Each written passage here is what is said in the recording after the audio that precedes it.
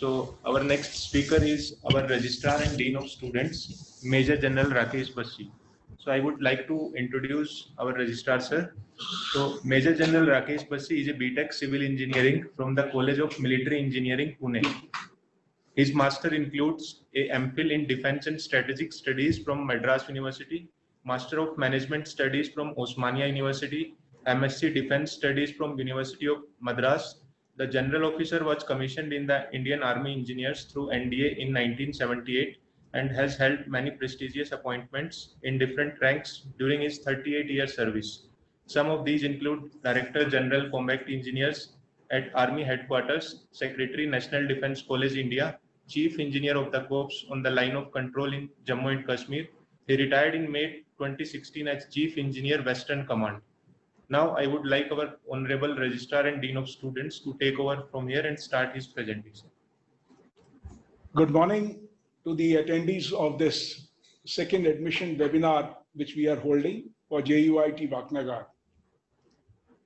The Vice Chancellor has already uh, shown you through a video the glimpses of the university and apprised you about the various aspects. Let me uh, dilate a little further on the facilities which are available on the campus. For those of you who would be wondering, uh, where does Wakna exactly lie on the geography of India? The National Highway 5, that is from Chandigarh towards Shimla, 22 kilometers short of Shimla on the main national highway, you divert for three kilometers to the left, and here we are neatly tucked in the hills of Waknaghat, located at 5,600 feet above mean sea level in the Dhauladhar ranges. The campus is a 25 acres, lush green, smart and pollution-free campus. For those of you uh, who have seen the pollution levels of the plains. When Delhi NCR was experiencing pollution levels of 526, 536, we were at a pollution level of 5. The campus uh, is located at a height and therefore enjoys beautiful climate throughout the year. The maximum temperatures in the summers reach maximum up to 31 degrees. The campus itself was designed by famous Canadian architect firm by the name of Messrs. Arcop Associates. And many and architectural students who are pursuing their PhDs come to study the beautiful architecture of this universities.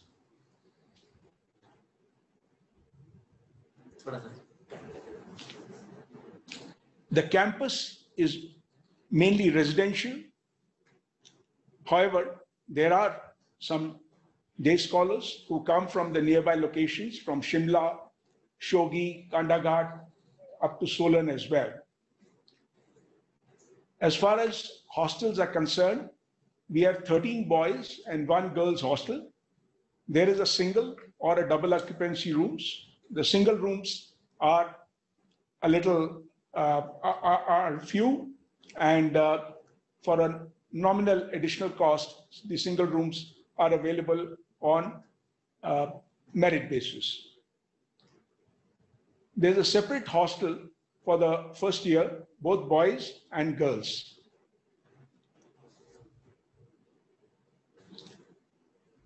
The Vivekananda Bhavan, this is the nerve center of the university.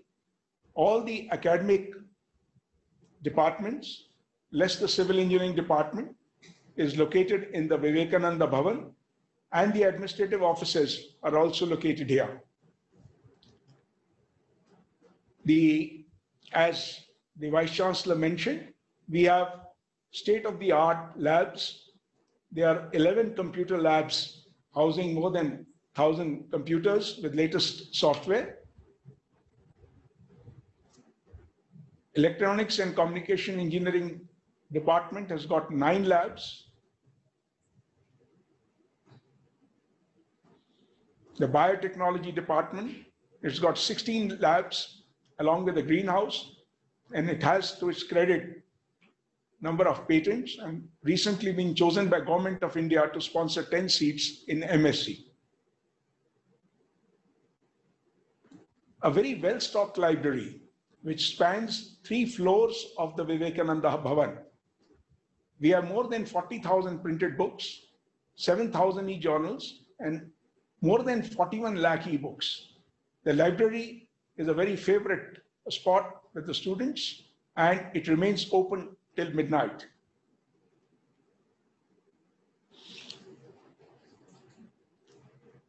A very impressive auditorium we have where all the cultural events and any central uh, cultural events or central lectures are held here. It also has an indoor uh, sports uh, center with a indoor badminton court, which you see on the slide in front, table tennis. Besides this, the campus life, it is quite buzzing.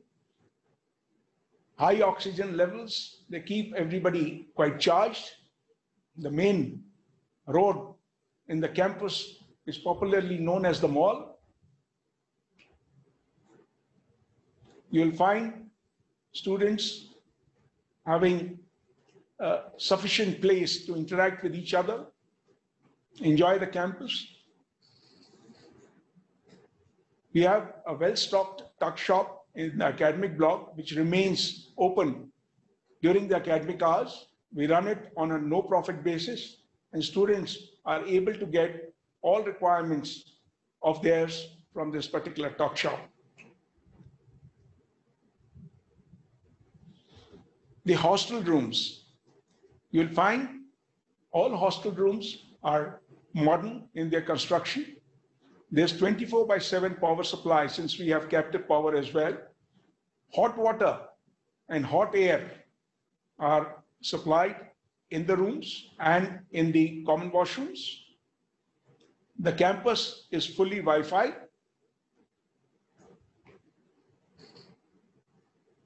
There are TV rooms in all the hostels. As regards sports facilities, there are both outdoor and indoor sports facilities. In the outdoor, being hills, we have a handball ground which doubles up as a mini football ground, a net practice cricket, basketball ground, a volleyball ground, two outdoor badminton courts, one indoor badminton court, table tennis in hostels as well as in the auditorium, chess and carom boards in the TV common rooms. In order to promote sports and to provide the right kind of coaching, we have two national level sports coaches, a boy sports coach and a girl sports coach. Both of them have also played the nationals. We have a sports meets twice in a year.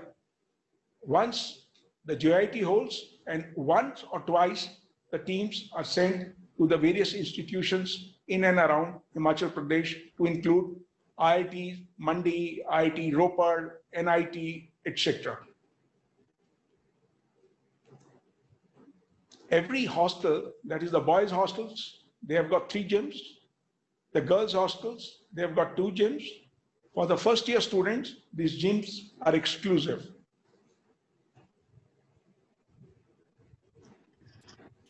An aerial view of our basketball, volleyball, and the outdoor badminton courts. Very popular among the student body, and they remain lit during the nights. We have an open ground for football, handball, and cricket. This is also lit during night, and students play up till 11 p.m. We have a state-of-the-art mechanized laundry. There are no additional charges. They are part of your hostel fees. Students, they are allowed twice a week to go, give their clothes, and collect them at the designated time. The Annapurna is the students' mess, a completely mechanized kitchen. We change the menu every week. There's no limit to the food quantity. And we are quite proud of our Annapurna. We have a suggestion box, which is opened every Tuesday, and the students' suggestions are taken very seriously. All our food handlers are medically tested. Incidentally, the Annapurna is managed by the JUIT itself. It is not outsourced. We have a very active mess supervising committee, which comprises of faculty members. And these two faculty members are changed every week. They interact with the students, inspect the premises, and comment on the cleanliness and the food quality and quantity and the feedback of the students. The day scholars, they are allowed to have breakfast and lunch. However, this is on a coupon purchase, which is at a very subsidized rates. For students, other than in academic hours or other than the meal hours in Annapurna, if they are hungry, they can use the cafeteria. It is again serving items on no profit basis. The timings of the cafeteria are up till 10:30 p.m. on every day. However, during exam days, when students are studying till late at night, we extend these timings up till 11:30 p.m. To cater for the medical requirements of the whole campus, we have a very well-stocked dispensary with an in-campus, a male and a lady doctor, and two male and two lady uh, nurses as well. We have a campus, uh, JUIT uh, has a in-campus ambulance and uh, the nearest uh, next stage of evacuation for medical is IGMC Shimla, that is the Indira Gandhi Medical College Shimla. Certain other miscellaneous facilities available on the campus. We have a mandir where all religious functions are well celebrated. We have a psychological counselor which attends the requirements of the students thrice in a week. We, all, we have also engaged a professional online counseling agency, which is available 24 by 7 to all JUIT students, faculty, and staff. All the major couriers and online purchase delivery services, they come to the campus, and there is a courier collection center. The JUIT operates a bus service which is free of charge for the students, both the day scholars as well as the hostel students. And it operates between the JUIT campus and Waknaghat, which is on the national highway. From Waknaghat, there are adequate transport services which are available down to the plains towards Shimla. There's taxi services also available. Last year, we introduced NCC for boys, and the year before that, we had NCC for girls.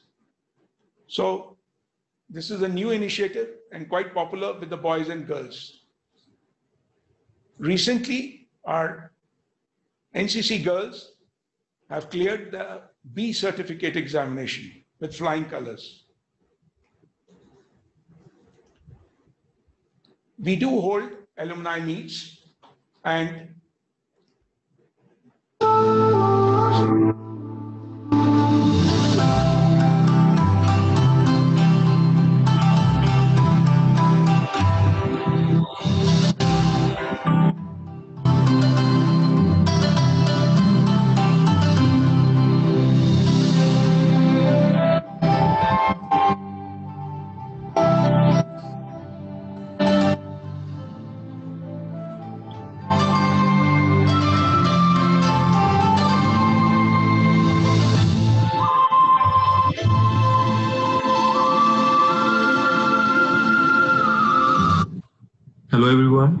name is Sumant Anurag and I completed my bachelor's in biotechnology in the year 2016. And later through GATE examinations, I pursued master's in biomedical engineering from IIT Bombay.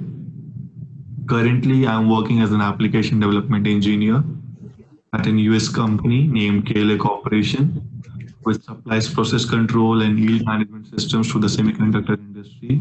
And this profile includes a vast travel to different countries. And to all of you back there in JUIT, have a blast. Enjoy the four years. The campus is really beautiful, and we've got really good teachers in our department. So make use of it. And yes, study hard and party harder. Thank you, everyone. Kudos. Bye bye. Hi, my name is Tulika. I did my bachelor's in biotechnology from JUIT. I graduated in 2017 and then moved to Denmark and did my master's from the University of Copenhagen in the field of biotechnology. In the second year of my master's, I received the Danish government scholarship, which covered my tuition fee as well as my living expenses. Now, I'm looking forward to doing my PhD, and I would really like to thank JUIT for the quality of education, the encouragement, and the role it has played in building my career.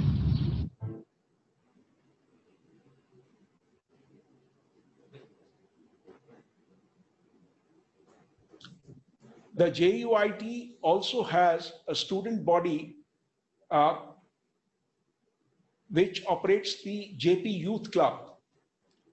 In fact, all the activities of the Jaypee Youth Club are conceived and uh, developed by the students themselves. They are given direction by a faculty member, and it's a very vibrant club having a lot of sub clubs under it whether it is music, dance, photography, video, dramatics, cultural programs, sports festivals, technical fests, these are all come within the gambit of the Jaypee Youth Club. You would find that almost every month of the year, we have one or the other activity, whether major or minor, conducted by the Jaypee Youth Club. This keeps the campus really vibrant.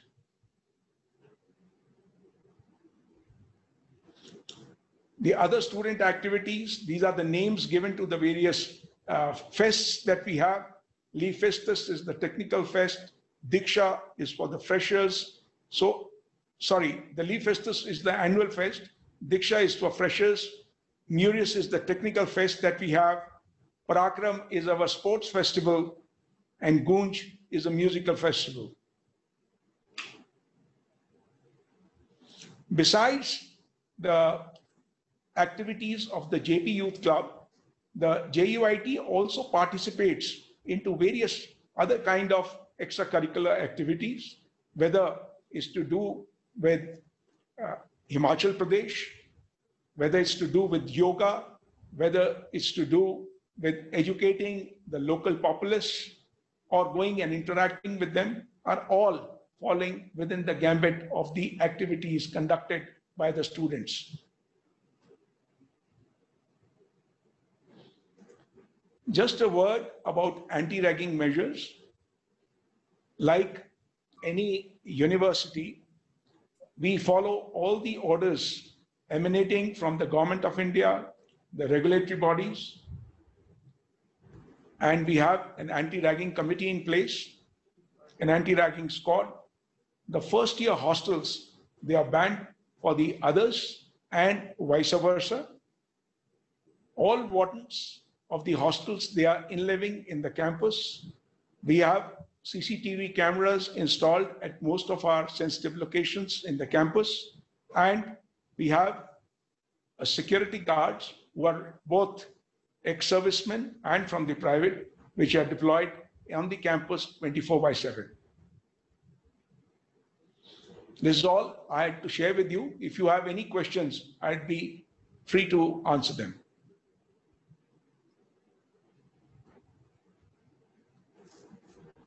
So I already answered most of the questions. If you have any other questions, you can mail your questions to us at admission at the rate juit.ac.in. Just a word about the present uh, COVID. Uh, the university management has announced a reduction of 20% in the tuition fees for the academic year 2020 and 2021. That is one academic year, that is the current academic year, as a special one-time COVID relief package.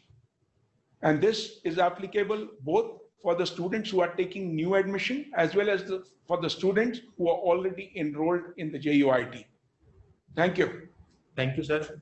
Uh, now we will have some break and at 3 p.m. we will start with our next session and our next speaker will be our Dean Academics and HOD CSCI. Thank you so much. Close.